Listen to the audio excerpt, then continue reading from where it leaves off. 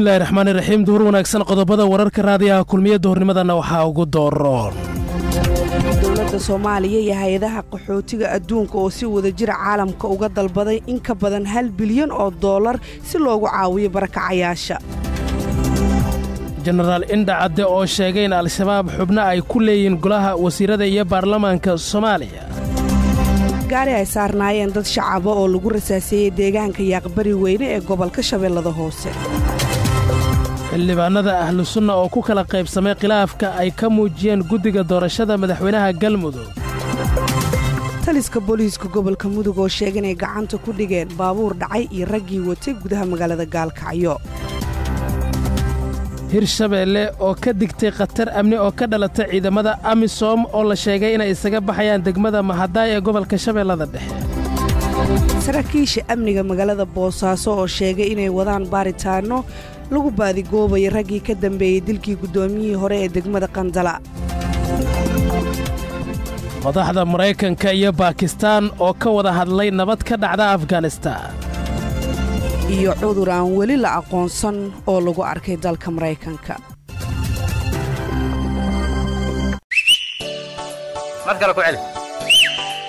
war bal ii warran maxaan kaaga warramaa xaaladda dalka dee. Ma run baad rabtaa mise been? Run baan rabaa beenraad ma leh. Kulmiye ka dhegayso. Wayna kaa haddaba. Waa duhurnimo arbacaha labaylabaatanka bisha koowaad sannada labada kun iyo labaatanka. Warka duhurnimo ee idaacadda kulmiye si wada jira anigoo amaali yuusuf iyo weliba maxamed nuur shuuriye ayaa u soo jeedinaya. Maxamed ayaa soo saaray ku soo dhowaada warkii oo faahfaahsan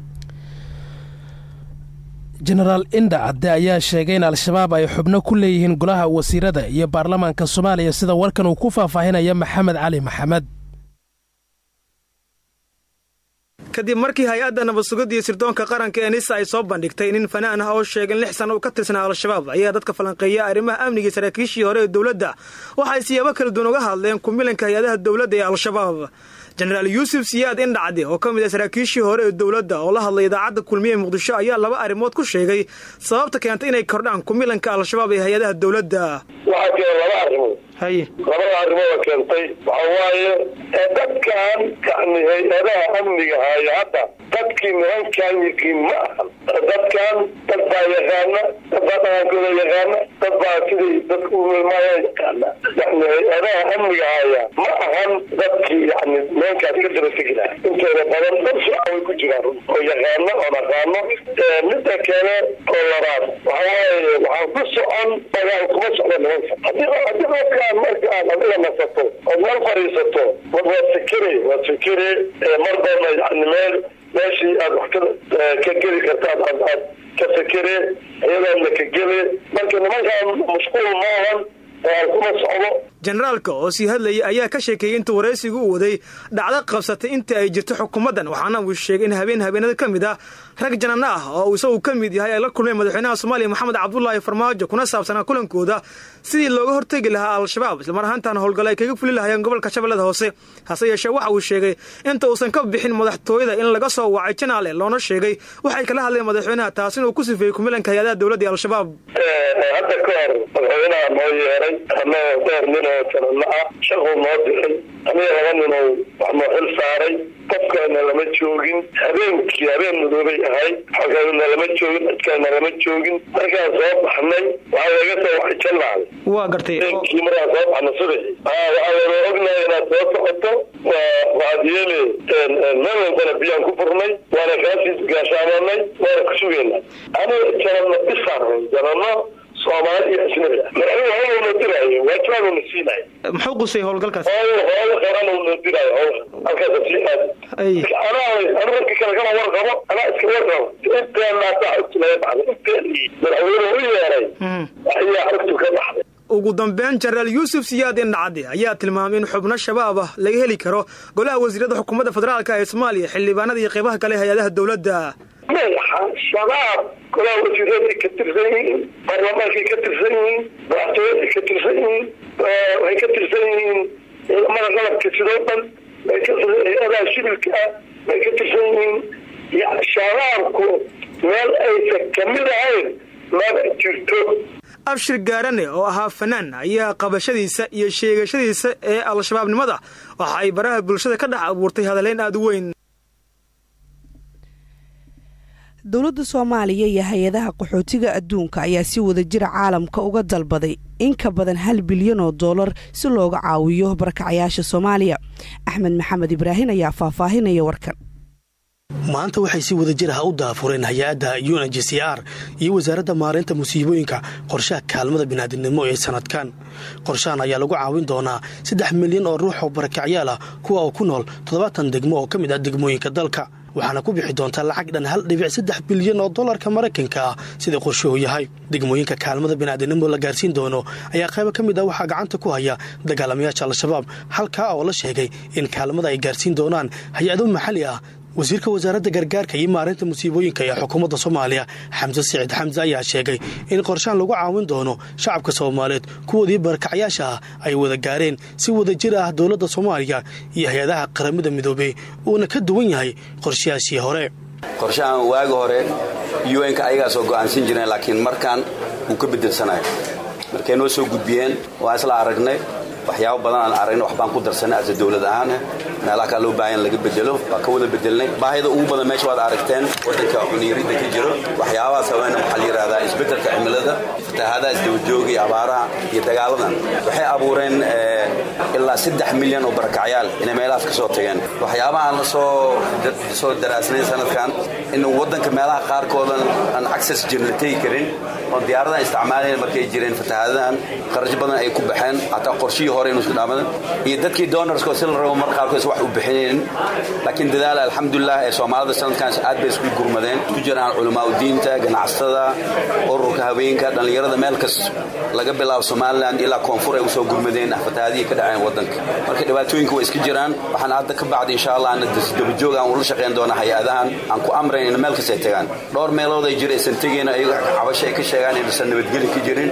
Waxaan ku xusbaynaa hadda ka bacdi inay u diri doonaan maxalli hay'ada soomaaliyeed ee meelahaas ay ka shaqeeyaan. Baahida way badan tahay dhibka ma yaro laakiin insha allah waan ka qaban wasiir xamse ayaa dhanka kale wuxuu shaaca ka qaaday in sannadkii hore lacagaha loo dalbay gargaarka bini'aadinimo aanan loo helin sidii loo rabay balse sanadkan xoogga la saari doono sidii loo heli lahaa. Horta lacagahaas ee dalbadaan markay dalbadaan horta kulli ma helaan.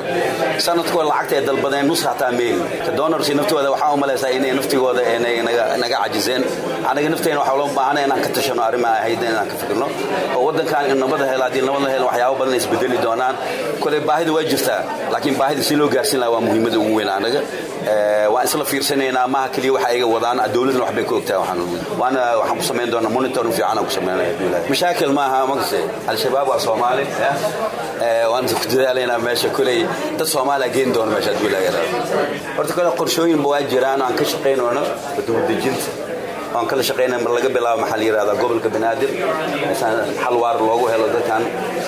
Maaha wax oo isla markii aan qaban karno mudday u baahan tahay qorshe dheer u baahan tahay dhaqaalena u baahan tahay. Taasna waan ka shaqaynayna insha allah. Hal dhibic toddoba boqol oo ruux oo ka mid ah saddexda milyan ee sanadkan la caawin doono ayaa la sheegay inay ka soo barakaceen colaad nabadgelyo xumo guuritaan qasab ah abaaro iyo weliba daadad. Dadkan ayay iskugu jiraan beerale iyo xoolo dhaqato. Sida ay sheegtay hay'adda qaramada midoobey u qaabilsan qaxootiga. Gaari ay saarnaayeen dad shacab ah ayaa lagu risaaseeyey deegaanka yaaq bari weyne ee ka tirsan gobolka shabeellada hoose.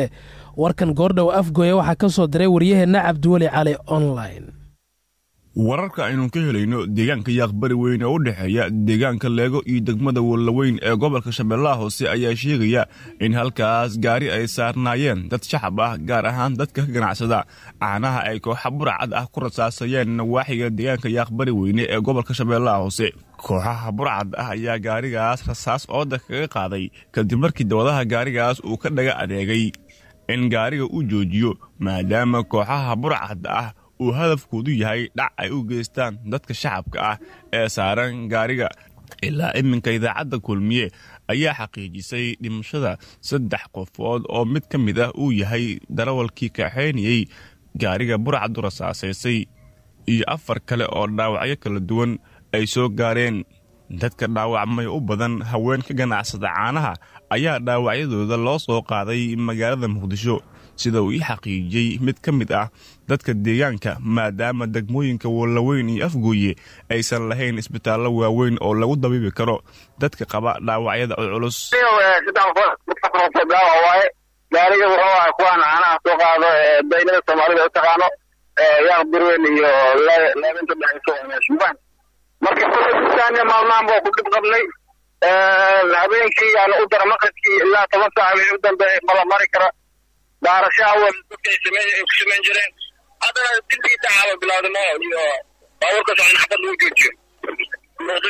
dhinacaasi camar burcadda gaadiidka dadweynaha u gasha waddooyinka gobolka shabeellaha hoose ayaa ah kuwa sii kordhaya. Waxa ayna caadaysteen dhaca iyo waxyeelada dadka shacabka ee ku safraya waddooyinka gobolka shabeellaha hoose. Mana muuqato tillaabooyin wax looga qabanayo. Cabdiweli cali online shabakadda wararka kulmiye gobolka shabeellaha hoose. Taliska booliiska gobolka mudug ayaa sheegay inay gacanta ku dhigeen baabuur la dhacay iyo raggii watay gudaha magaalada gaalkacyo ee xarunta gobolka mudug. Liibaan cajiib xaaji ayaa warkan soo diray kadib markii habeenadii ugu dambeysay magaalada gaalkacyo ay ku soo kordheen dhinaca waqooyi ee magaalada gaalkacyo falalidii kuwa amniga islamarkaana lagu waxyeeleeyay dad shacaba laguna dhacay. Qaar ka mid a gaadiidka ka dhex shaqeeya magaalada gaalkacyo ayaa haddana wixii arrimahaasi ka dambeeyay. Waxaa maanta magaalada gaalkacyo ka bilowday howlgallo xoogan oo ay wadaan ciidamada booliiska gobolka mudug kuwaasoo lagu xaqiijinayo amniga magaalada gaalkacyo. Kadib markii ay sii kordheen cabashada ka imaaneysa qeybaha kala duwan ee bulshada taliyaha qeybta booliiska gobolka mudug ee puntland gaashaanla sare jaamac maxamed axmed oo warbaahinta kula hadlay gaalkacyo ayaa sheegay in ciidamada ammaanka gobolka mudug ee puntland ay ku guuleysteen howlgallo adag ay ka sameeyeen xaafadaha magaalada gaalkacyo inay ku soo qabtaan. Dad uu sheegay inay qeyb ay ka ahaayeen falalka ammaandiri ee ka dhici jiray magaalada gaalkacyo isagoona intaasi ku daray in xabsiga dhexe ee magaalada gaalkacyo ay ka buuxaan. Dad uu sheegay in lagu soo qabtay howlgalladii ugu dambeeyey ee laga sameeyey magaalada gaalkacyo taliyaha ayaa ugu dambeyntii ugu baaqay qeybaha kala duwan ee bulshada inay la shaqeeyaan laamaha ammaanka si buu yiri looga hortago cid kastaoo falal ammaandiriya ka wada xaafadaha waqooyi ee magaalada gaalkacyo maadaama ay kordheen cabashada ka imaaneysa qeybaha kala duwan ee bulshada. Waxaan aad iyo aad ugu mahad celinayaa ciidanka iyo saraakiishiisa shaqooyinka wanaagsan oo gobolka mudug ay ka qabteen. Xaqiiqdii baabuurtii la dhacay oo dhan dhammaantood gacantaa lagu wada hayaa. Dhammaan wax qof kasta oo maxay ahayto? Gobolka mudug raba inuu khalkhalgeliyo ma u suurtagelayso? Ciidamada kale oo qaybaha dhammaan wada jir bay u wada shaqaynayaan. Ciidanka hadda puntland oo booliska ahi waxay ka howlgelayaan dhammaan wax allaala iyo wixii khalkhal ku wada magaalada gaalkacyood iyo dhammaan daafaha gobolka dhammaantiisa oo dhan. Aad iyo aad baan ugu mahad celinayaa sida sharaftale ay u shaqeeyeen tuugadii baabuurta dhacday ilaa iyo toddobaa noo xidhan kuwa kale oo farkutiriskaana waannu soo qabqabanaynaa haddii ilaahaynu aalkoleystayaashii waa la xidhxidhay qofna asaga oo dembi galay ama dhib sameeyey kuma baxsan doono gobolka mudug. Annaga boolis ahaanna waxaan idinka ballanqaadaynaa meel kasta uu jooga inaannu ugu tagno haddaad informationkiisa noo keentaan oo gacantaannu ku soo dhigno. Sida kuwa hadda noo xidhxidhan oo kale oo jeelalkii hadda ka buuxa oo meel lagu xidhan lalayahay oo saldhigyadii ka buuxa. Intaasoo dhan booliska ka howlgalay soo qabtay iyo ciidanka weliba na caawinaya oo dawladda hoose sharafta leh iyaguna sharafta leh oo shaqada nala qabta roondada nala qabta meel walbana nala gala. Liban cajiib xaajiraadu kulmiya gaalkacyo mahadsanid liiban xildhibaan shaacir sheegow oo ka tirsan baarlamaanka galmudug garabka ahlu sunna ayaa warbaahinta kula hadlay maanta magaalada dhuusamareeb waxa uu tilmaamay inuusan jirin wakhtigan khilaaf aad u weyn. Waxa uu intaasi ku daray in qaab dastuuri ah loo xalliyo waxyaabaha yaryar ee xilligan taagan. Isagoo arrimahaas ka hadlayna waxa uu yidhi. Wixii shalay iyo daraad laga faafiyey ee laga faafiyey baarlamaankii labaad kalfadhigiisii iyo qaabkii doorashada ay u wajihi lahaayeen arrimihii ka soo baxay ugu horeyntii waxaan ugu baaqahayaa dadka in ay isdejiyaan. Colaad baarlamaanka dhexdiisa ka jirtana ma jirto. Waxa uun laga wada hadlay ee laysku qabtay laga hadlayo waxay ahayd arrimo dastuuriya. Mar hadday yihiin arrimo arrimo dastuuriya jaha loo raaco iyo meel loo raaca ayay leeyihiin. Sidaa daraaddeed waxaan u sheegayaa dadweynuhu inaysan jirin colaad weyn burbur weyn kala tag weyn inaysan jirin. Waxanagana insha allahu tacaala waxaan ku saxan doonnaa ama aan ku dhammaysan doonnaa qaab dastuuriya. Marka labaad waxaan rabaa baaq inaan halkan uga jeediyo saaxiibadaydii ahlusunna waljamaaca xildhibaanadii ka soo galay oo aniga aan ka mid ahay. Waxaan ugu baaqaa inay baarlamaanka ka soo qayb galaan kulamadiisa wixii arrinah iyo wixii tabashaa aan qabnana aan ku dhammaysanno baarlamaanka gudihiisa. Dhowaan ayay ahayd markii ay soo ifbaxday khilaaf la xidhiira guddiga doorashada xilka madaxweynaha iyo madaxweyne ku-xigeenka galmudug maamulka hirshabeelle ayaa ka digay in khatar amni ay ka dhalato ciidamada amisom oo la sheegay inay isaga baxayaan degmada mahadaay bashiir cali daahir ayaa warkan shabeellada dhexe ka soo diray.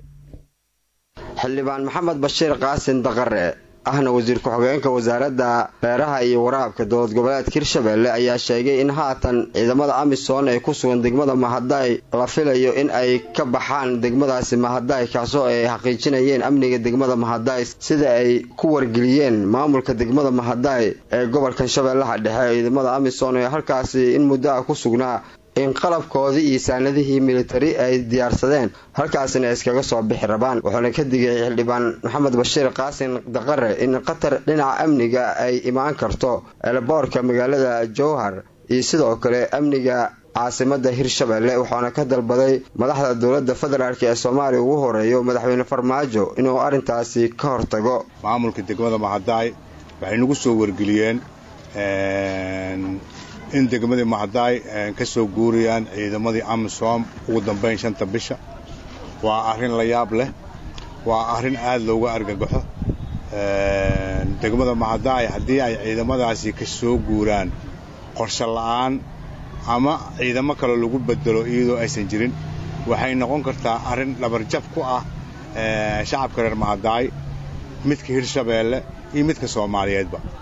Waxaa kaloo cad haddii ciidamadaas meesha ka soo baxaan in isbeddel ka iman karo taasoo suuragal ah in aanan garoonkiin waxba ka soo degin amniga jowharna uu qalqalgalo waxaan leeyahay marka arrintaasi ee maamulka degmada mahadaay noo soo gudbiyeen ka xildhibaan ahaan waxaan leeyahay arrintaasi in laga fiirsado dowladda dhexe ee soomaaliya taliyaha ciidamada waa madaxweynaha soomaaliya master farmaajo. Waxaan leenahay arrimahaas in laga fiirsado haddii ay jiraan arrimahaas la joojiyo aan saacaddan loo horseedin ummadda soomaaliyeed iyo shacabka degmada mahadaay barakac kale iyo dhibaato sidaas ayaan soo jeedinaya annagu arrintaas waxaa nagu wargeliyey maamulka degmada mahadaay ciidamadii amisom inay u diyaargaroobayaan inay ka baxaan degmadii mahadaay amarna ay ka heleen madaxweynihii dowladda soomaaliya. Marka arrintaasi waa arrin aan aad ugu argagaxnay dabcan haddii mahadaay laga soo baxo xitaa garoonka jawhar sida loo isticmaalo aad ayuu adkaanaysa warkan ka soo yidhi xildhibaan maxamed bashiir qaasin daqare ayaa wuxuu ku soo aadayaa xilli al-shabaab ay weeraro ka geystaan qaybo ka mid ah deegaano ka tirsan gobolkan shabeellaha dhexe bashiir cali daahir raadiyo kulmiye jowhar saraakiisha amniga magaalada boosaaso ayaa sheegay in wakhtigan ay wadaan baaritaano lagu baadigoobaya raggii ka dambeeyey dilkii guddoomiyihii hore ee degmada khandalla sida warkan uu goordhaweed ku soo diray cumar maxamed soomane.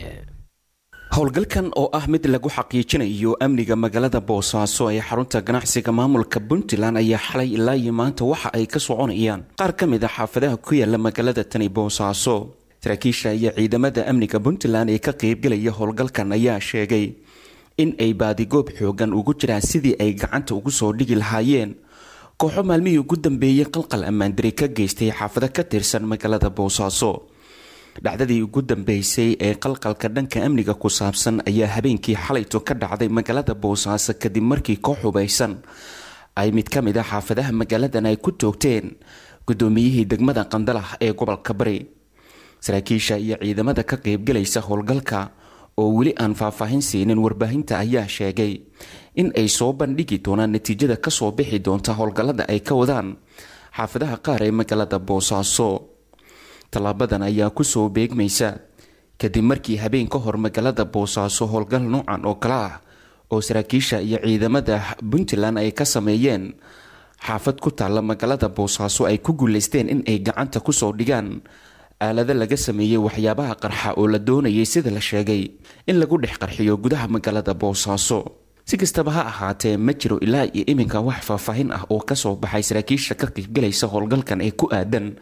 Haddii ay jiraan shakhsiyaad qalqalka ammaandarida lala xiriirinayo oo ay gacanta ku soo dhigeen. Cumar maxamed somane redio kulmiye boosaaso soomane aad buu umahadsan yahay. Warkii duhurnimo aad kala socoteen idaacadda kulmiye waa naga intaa cidda uu dhaafo. Warkayagu waxay dib uga daalacan karaan beijka internetka aan ku leenahay ee radio kulmiye net